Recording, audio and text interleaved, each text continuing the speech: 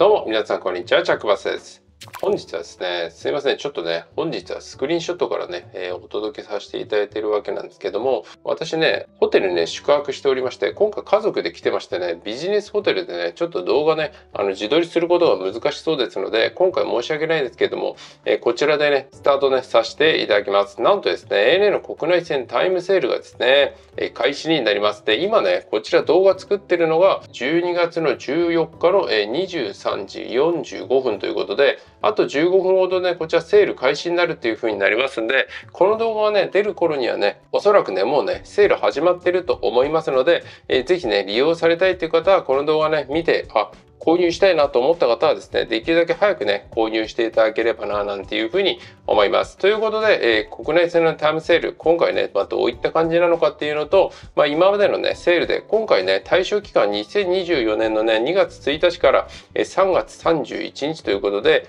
こちらね、私の動画なんですけども、2023年のね、11月の16日から22日の時のね、タイムセールと登場期間がですね、一部ね、被っているっていう風になるんですよね。まあ、この時とね、今回のね、タイムセール、まあ、どんな感じの違うのかっていうのもですね、まあ、一緒に、話していきたいな、なんていう風に思いますので、気になる方はぜひね、最後までチェックしていただければなと思います。はい。ということで、早速ね、内容に入っていきたいなと思うんですけども、国内線タイムセールということで、あなただけの感動体験を見つけに行こうということで、今回ね、販売期間が2023年12月15日から2023年12月の21日23時59分ということで、だいたいね、6日間ぐらいね、セールが行われます。で、登場期間はね、2024年2月1日から2020年3月30日までっていうふうになっておりまして対象路線は北海道東北北陸関西中四国九州沖など路線便限定っていった形に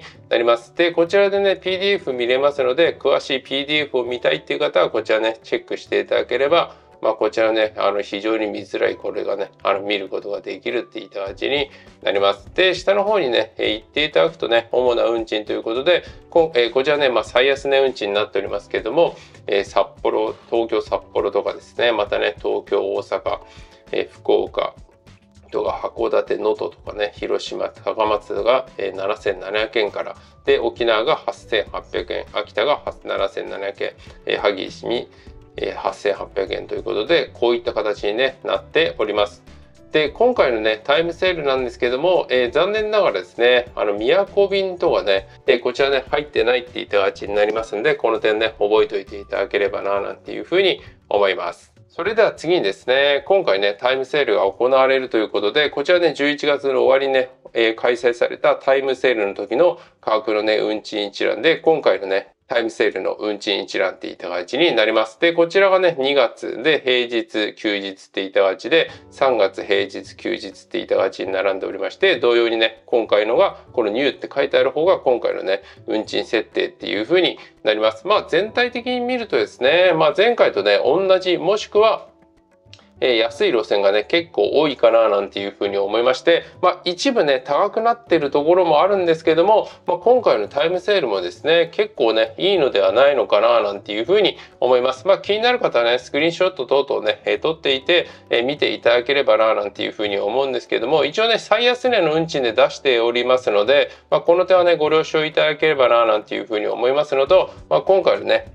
まあ、タイムセールっていう風になりますんで座席がなくなっていけばいくほどね運賃は高くなっていくっていう風になりますんでこの点も合わせて覚えておいてください。でこれが東京方面ですね。で、えー、あとまたね、え東京方面の続き。で今回ね、え東京宮古とかね石垣とかはあの11月のタイムセールはねここ入ってたんですけども今回のタイムセールねこちらは入ってないっていう風になりますんで、まあ、おそらくね安い運賃では出てこないのではないのかななんていう風に思います。ですのでまあここら辺ね狙ってた方はねちょっと残念ですよね。やはりね、まあ、3月、まあ、2月だとねそんなに楽しめないかもしれないんですけども3月とかだったらね結構楽しめたりするのかななんていう風にねえ沖縄でもねあのできるのかななんていうふうに思うんですけれども、まあ、今回のタイムセールにはですね入ってきていないっていった形になります。で次にですね大阪方面ですねこちらも先ほどと同様ですねえー、同じもしくはちょっと安いぐらいの運賃設定がね、結構されているっていう風になりますんで、利用されるのがね、結構いいのではないのかななんていう風に思います。で、こちらもね、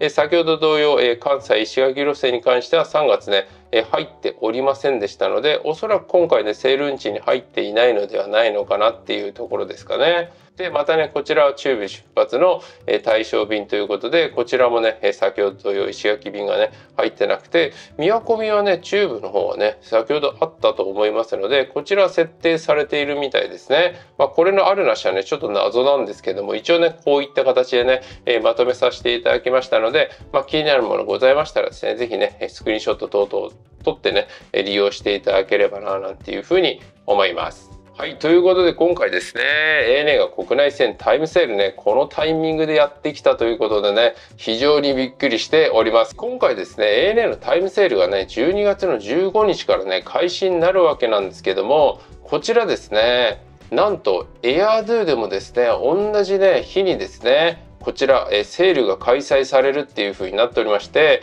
これね土曜日の今週の土曜日のね細かい話にも入ってくるんですけどもなんとね同じ日にですね開始でエアドゥの方もセールを行うんですよね。12月の15日0時からということでこちらね1月の12日から2月の29日ということで3月はかぶってないんですけども ANA の方のね2月のね部分がね今回かぶっているっていう風になるんですよね。しかもですねこのエアドゥのセールはですね全路線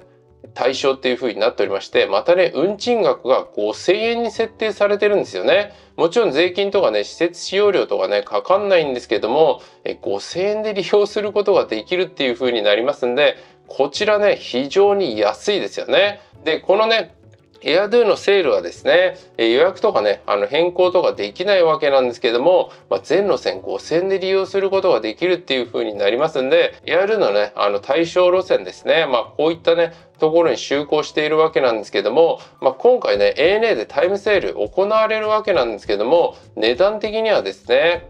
エアドゥの方はね圧倒的に安くなるっていう風になりますので、まあ、今回ねこの動画出てる頃にはねもうあのセール開始になってると思うんですけれども、まあ、エアドゥのセールとね、ぜひ比較していただいて、まあ、どっちが安いのかね、見ていただいて利用ね、していただければな、なんていうふうに思います。まあ、注意事項としては、このエアドゥのセールね、確かね、これ、ここに載ってないんですけども、予約不可だったと思うんですよね。確か Yahoo ニュースとかにそう載ってた気がするんで、こちらね、あの、利用する際にはですね、こちらね、注意していただければな、なんていうふうに思います。このね、1月から2月のこの冬のシーズンのね、北海道路線っていう風になりますんで、やはりね、あの、遅延とか欠航とかね、雪でね、される可能性もあるかななんていうふうに思いますので、まあ、この点ね、注意していただくのと、AirDo でね、もし発見した場合はね、ANA のね、ステータス等々をね、利用することができないっていうふうになりますんで、まあ、この点はね、注意していただきたいななんていうふうに思うわけなんですけども、まあ、前列線片道5000円ですからね、めちゃくちゃいいですよね。ぜひね、利用される際はね、運賃比較ね、していただいて、ANA とね、選んで利用ね、していただければな、なんていうふうに思います。まあちょっとね、この AirDo のセールがね、12月15にね、開始になって、これ結構前からですね、発表あってね、あの、分かってたと思うんですけども、このタイミングでね、当ててきたっていうのはね、結構びっくりなんでね、なぜそうしたのか、まあ値段的にはね、この AirDo の方はね、圧倒的に安いんでね、ちょっとびっくりしたわけなんですけども、まあこういった形になっておりますんで、この点ね、覚えておいていただきたいな、なんていうふうに思います。ということで今回の動画はね、こんな感じで終わりたいなと思います。それではまた次の動画でお会いいたしましょう。バイバイ